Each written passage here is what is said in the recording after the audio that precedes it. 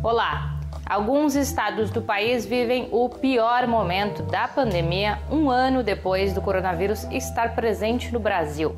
O relaxamento das medidas de isolamento, somado à falta de auxílio emergencial e ao baixo número de pessoas vacinadas, nos aproximam dos 250 mil mortos pelo vírus. Em destaque hoje, trazemos a entrevista com a economista Leda Paulani, que fala sobre a urgência da interrupção da lei de teto de gastos. Eu sou Pamela Oliveira e você acompanha agora o Central do Brasil. Central do Brasil. Já são cerca de 10 milhões e 200 mil pessoas infectadas por coronavírus. Enquanto o vírus se alastra, famílias inteiras sofrem sem acesso à renda para o básico da sobrevivência. Alexandre Pires, da Articulação Semiárido Brasileiro, a ASA, reforça a urgência do pagamento do auxílio emergencial e da vacinação universal.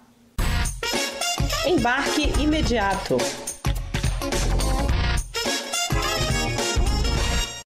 O Brasil passa por muitas dificuldades para milhões de brasileiros e brasileiras. São milhares de pessoas passando a condição de pobreza. Essa situação é resultado de uma crise econômica que se arrasta no Brasil há muito tempo, mas, sobretudo, é da desconstrução das políticas públicas de proteção social e de cuidado com o povo brasileiro. A exemplo do programa Um Milhão de Cisternas no Semiárido, que sofre pela redução dos recursos e a, o fim das estruturas de gestão da política de água no semiárido. Essa situação ela se agrava com a crise da Covid-19 e com a incapacidade do Estado brasileiro de responder às necessidades de atenção à população. Por isso, a ASA, a Articulação do Semiárido, em carta, convoca todas as organizações membro, as organizações sociais aliadas aos movimentos sociais, para que juntos eh, chegamos ao Parlamento, ao Congresso Nacional, buscando dos parlamentares progressistas o apoio e pressionando o governo federal a manter o auxílio emergencial de no mínimo 600 reais para todos e todas aquelas que precisam e a vacina gratuita e em quantidade suficiente para toda a população brasileira. Cerca de 37 mil famílias estão desalojadas ou desabrigadas no estado do Acre em meio à pandemia.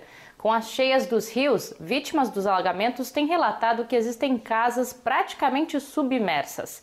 Vamos saber como está a situação por lá na reportagem de Afonso Bezerra.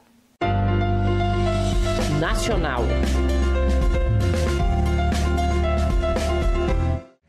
Há um mês que 10 das 22 cidades do Acre estão embaixo d'água.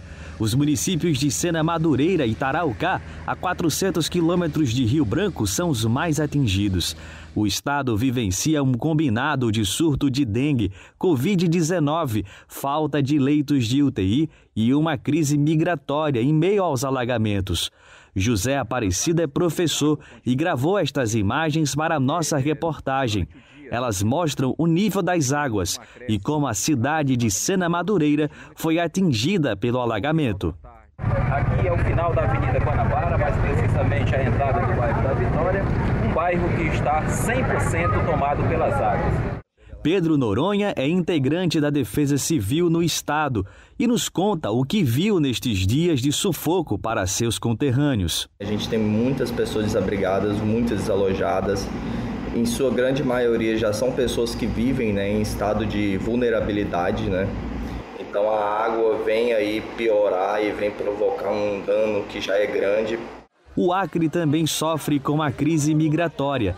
Cerca de 500 migrantes, em maioria haitianos, estão presos na fronteira com o Peru, na cidade de Assis, Brasil. A socióloga Jaice Lene se preocupa com o cenário pós-enchente e como estas pessoas vão fazer para se sustentar. A outra preocupação também é manter essas pessoas, esse contingente atingido pela alagação, que a maioria desse público é, é acessou o auxílio emergencial. E esse auxílio emergencial, ele está suspenso. O governo federal reconheceu o estado de calamidade em 10 cidades do Acre, incluindo a capital Rio Branco, e editou uma MP que autoriza a abertura de crédito extraordinário de 450 milhões de reais. O ministro da Saúde, general Eduardo Pazuello, será investigado pelo Ministério Público Federal por sua conduta em relação à crise sanitária. O processo de aquisição das vacinas e a baixa execução dos recursos para o controle da pandemia estão entre os temas do inquérito. Sem uma reação efetiva contra a Covid, a crise sanitária pode se agravar ainda mais. Nayatawane tem informações sobre uma região bastante afetada, o sul do país. Trilhos do Brasil. Com quase 248 mil mortes pela Covid no Brasil, a região sul vem sofrendo com o aumento de casos e óbitos pelo vírus. O estado Rio Grande do Sul tem atualmente quase 90% dos leitos de UTI ocupados. Após o crescente aumento, o governo do estado adotou medidas mais restritivas para conter o avanço do vírus. A enfermeira Cláudia Franco nos conta que o Estado deveria ter agido antes deste aumento. Se tu abre o comércio, uh, automaticamente essas pessoas têm que vir trabalhar e automaticamente as pessoas vêm para fazer as compras. E isso gera uma população desordenada. O governo e os gestores também têm que estar conscientes uh, da maneira certa de agir e que não é um momento eleitoreiro. Já Santa Catarina vive a pior fase da pandemia, com quase 7 mil mortos. A região segue com aglomerações em festas e bares o médico Mahmoud Khalil expõe a importância dos catarinenses tratarem as medidas restritivas com mais seriedade. E quanto ao aumento de, da, da, incidência no Rio Grande do Sul e agora Santa Catarina também está aumentando a incidência, qual é a causa? Eu acredito que é o relaxamento do distanciamento social, a, a, a intolerância em relação ao uso da máscara, né? Lavar as mãos. No Paraná, o governo iniciou o ano de 2021 com um decreto que limitava serviços não essenciais e optou por não retornar às aulas de forma presencial. O Paraná teve um aumento mínimo de casos e óbitos pela Covid, totalizando quase 604 mil infectados e 11 mil mortos.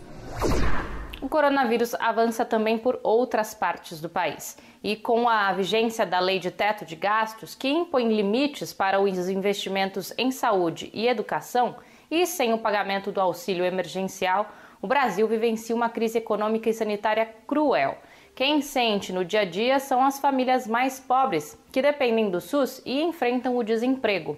Jonatas Campos conversa com a economista Leda Paulani sobre o assunto. Entrevista Central.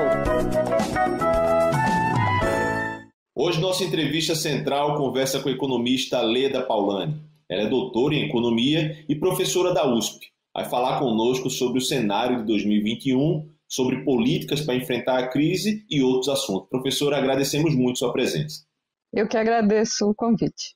Professor, alguns analistas dizem que o auxílio emergencial foi muito dinheiro no mercado em pouco tempo, o que ocasionou a inflação dos itens básicos. A senhora concorda com isso e existe alguma possibilidade do auxílio emergencial continuar no ano de 2021?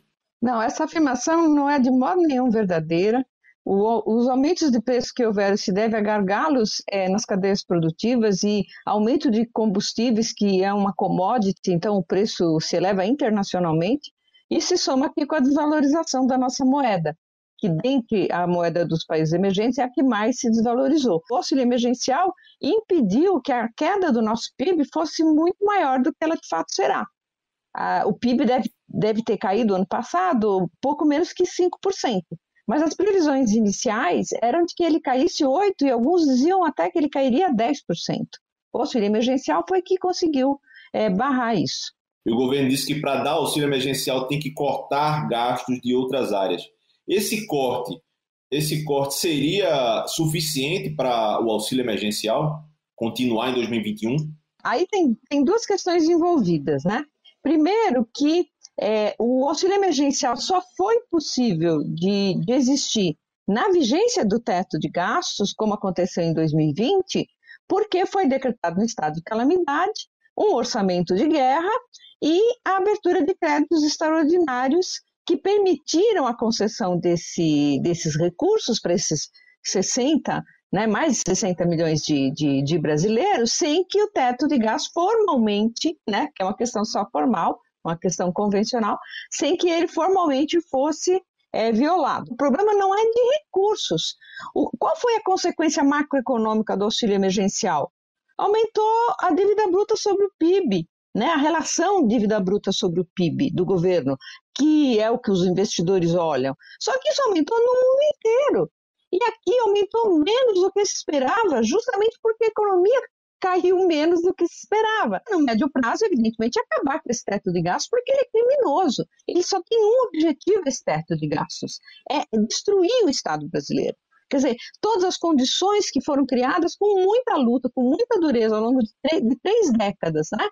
Para criar minimamente as condições é, é, de um Estado social, é, de ter um mínimo de homogeneidade que, que, que, permita que a gente chame esse pedaço do mundo aqui de nação, né? tudo isso está sendo destruído, está sendo destruído a golpes de machado, assim, é, é, né? cortando o que vê pela frente.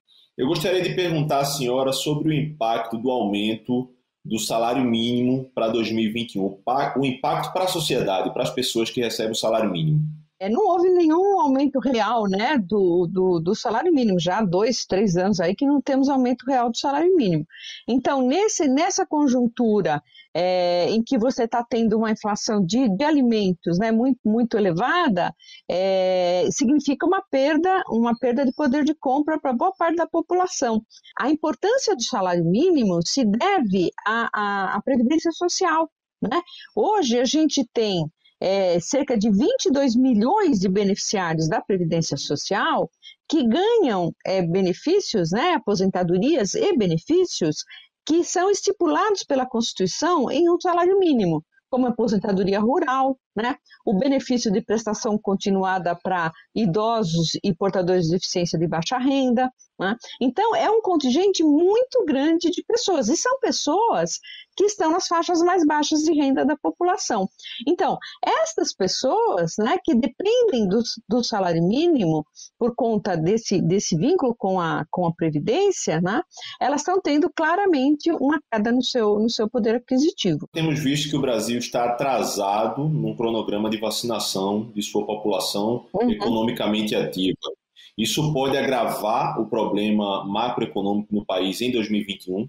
mas com toda certeza, porque veja, os países que já estão mais adiantados, né, as curvas estão caindo drasticamente de, é, de infecção e de, e de mortes, então você tem uma, um impacto é, muito rápido, mesmo que a gente tivesse magicamente amanhã todo mundo vacinado, a economia não faz um estalo de dedo e ela sai andando de novo, igualzinho ela andava antes, né? Porque você tem cadeias produtivas que foram rompidas, você tem, enfim, problemas e gargalos de variada ordem. Uma das conquistas da oposição, a Lei Aldir Blanc, tem salvado o setor de cultura e seus trabalhadores. Com os recursos da lei, bibliotecas comunitárias no Rio Grande do Sul estão organizando atividades online. Vamos para a Parada Cultural conhecer as dicas da mediadora de leitura Marta Mota. Parada Cultural. Vim apresentar para vocês o nosso projeto Circuito Cultural nas bibliotecas comunitárias da rede Beabá. Esse projeto tem por objetivo a realização de várias atividades, como vídeos de mediações de leitura, processamento técnico dos livros, é, saraus presenciais nas comunidades das bibliotecas e 10 lives de vários segmentos culturais. Eu vim convidar vocês para assistirem às nossas duas próximas lives, dia 24 de fevereiro, às 18 horas, no canal do YouTube da Beabá e no Facebook, Dança, Música e Poesia com Guerreiro Poeta, e dia 3 de março, Fabiana com o tema Museus. Anota aí na sua agenda para não perder. Bom, o programa de hoje termina aqui. Para rever algum dos nossos conteúdos, acesse o perfil do Instagram, arroba Programa Central do Brasil. Até amanhã.